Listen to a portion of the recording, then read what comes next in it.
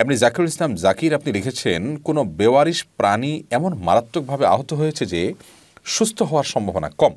কিন্তু মারাও যায়নি, অর্থাৎ জীবন মৃত্যুর সন্ধিক্ষণে খুবই বাজেভাবে ভুগছে। তিনটি পা ভেঙে গেছে, এর ভোগান্তির চেয়ে মেরে ফেলা উত্তম। এক্ষেত্রে করণীয় কী? জটিল একটি প্রশ্ন।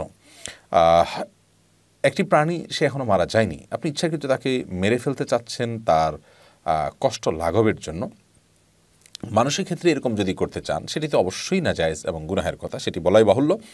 কারণ কোনো মানুষ তিনি যত অসুস্থ হন, যত পীড়িত হন, যত দুর্বল হন, যত সমস্যায় হোক না কেন, তাকে আপনার তার মৃত্যুটা সম্পূর্ণ আল্লাহর উপর ন্যস্ত করতে হবে। এটি তিনি নিজে নিজের উপরে কাঁধে যেমন নিতে পারেন না, অন্য কেউ নিতে পারেন না। এক ব্যক্তি নবী করিম সাল্লাহ সাল্লামের সময় যুদ্ধে লিপ্তে ছিলেন জেহাদের ময়দানে। তার কোনো একটা হাত কেটে গিয়েছিল এবং সেটার কাটার কারণে, তরবারের আঘাতে কাটার কারণে যন্ত্রণায় তিনি কাতরাচ্ছিলেন, কষ্ট সহ্য করতে না পেরে ওইটা তিনি টেনে ছিঁড়ে ফেলতে গিয়েছেন এবং আত্মহত্যা করেছেন।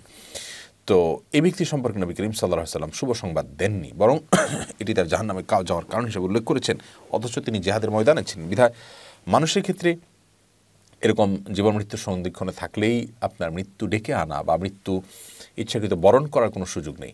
আমরা আজকাল পশ্চিমা দুনিয়াতে অনেক দেশের কথা জানি যে দেশগুলোতে হাসপাতালে মানুষকে রাইট দেওয়া আছে যে কেউ যদি ধরুন ক্যান্সারে আক্রান্ত হলেন বা দুরারোগ্য ব্যাধিতে আক্রান্ত হলেন, তিনি দরখাস্ত করে মৃত্যুর জন্য ইঞ্জেকশন বা মেডিসিন ইত্যাদি নিয়ে দুনিয়া থেকে চলে যাওয়ার উদ্যোগ গ্রহণ করতে পারেন। সেরকম সুযোগ বা স্কোপ তাদের কাছে আছে।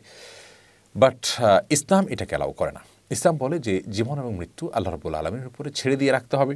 আল্লাহ যদি মৃত্যুর আগে আপনাকে কষ্ট দেন, আপনি সবর করতে হবে। দেখুন, সবরের বিনিময়ে আল্লাহ তালা জান্নাত দিবেন। কে কতটা সবর করতে পেরেছে, এটাই মূলত দেখার বিষয়। বিধায় আমাদের কাজ হবে এই টাইমগুলোতে ধৈর্যের পাহাড় হয়ে থাকা, অটল অবিচল থাকার চেষ্টা করা। আল্লাহ তার মোয়াফাক এবং তফিকপ্রাপ্ত বান্দাদেরকে এটি সাধারণত দিয়ে থাকেন। বিধায়, এই চেষ্টা আমাদের থাকতে হবে। এটা আমি কাউকে হত্যা করা যায় নয়।